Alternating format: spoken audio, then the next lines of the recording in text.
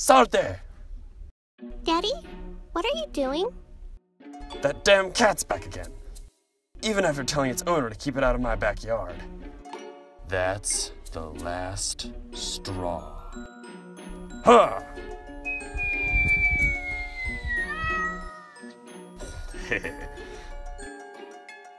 Poor kitty.